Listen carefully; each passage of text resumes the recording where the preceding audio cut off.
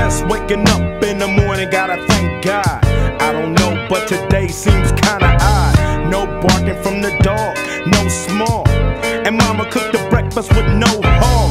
I got my grub on, but didn't dig out. Finally got a call from a girl I wanna dig out. Hooked it up for later as I hit the dope, Thinking, will I live another 24? I gotta go, cause I got me a drop top. And if I